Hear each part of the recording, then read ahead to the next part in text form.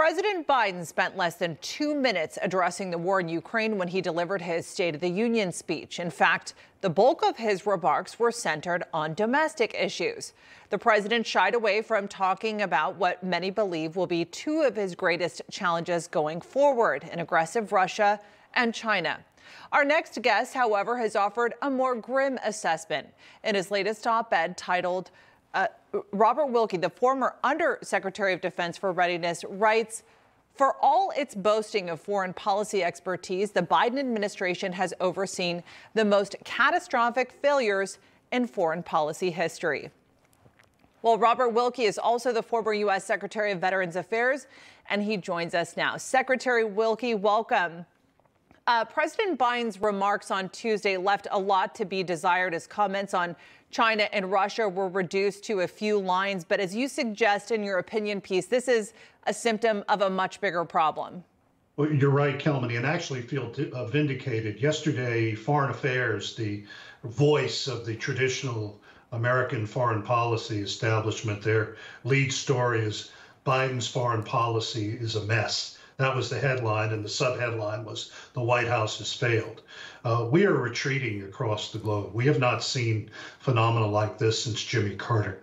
Um, the Chinese balloon uh, exploit is just the latest in a series of failures that uh, began with the debacle in Afghanistan, uh, the collapse of our relationships with Arab neighbor, Arab, Arab friends who are confronting the theocratic fanatics in, in Tehran. And uh, across the globe, our former allies are looking to themselves for safety because they can't trust this administration. In terms of the message that the U.S. has sent to China, there's actions and words. You reference an exchange with China's foreign minister and Secretary Blinken and China increasing its warplane flights into Taiwan's air defense zone following America's withdrawal from Afghanistan. What's been the long term impact here? Well, the long the long term impact is that the Chinese are traditional communists. When they when they push and strike mush, they keep pushing.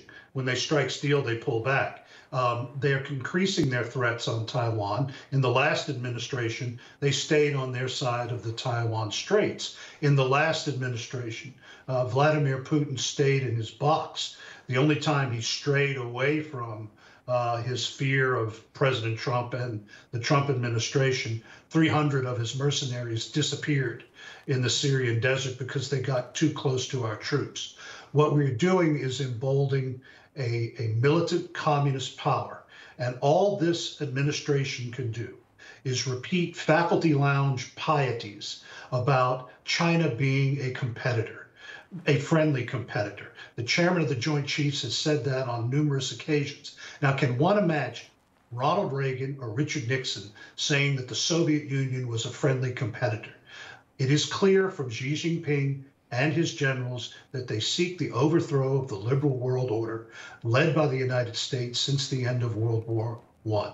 And they are doing that by slowly eroding our credibility, particularly in Asia, because our Asian allies cannot trust this administration. As for the war in Ukraine, you paint very clearly what both Moscow and Kiev's goals are, but you say that the Biden administration does not have what military doctrine calls a desired end state. What should that be? Well, that should be the, the removal of Vladimir Putin from Ukraine. And that's what the Ukrainians desire. I'll give you an example. The president made a, a great deal about saying we're going to send 41 a- Abrams tanks to the Ukrainians. Well, that's not something that's going to happen right away. He's making the Ukrainians go through the acquisition and distribution process, which means they have to fill out everything in quadruplicate. Those tanks will not be available probably until next year. And in the meantime, we are going to see a massive Russian offensive. We're starting to see the beginnings of that. Uh, thank goodness our friends on the front line in Finland and Poland are sending hundreds of tanks to the Ukrainians to thwart Putin's plans. But again, this administration is leading from behind. And, and again, if you want if you want proof as to where that gets the United States, all you have to do is go down to Plains, Georgia, and talk to President Carter. Secretary Wilkie, we appreciate you being here. Thank you, sir. Thank you.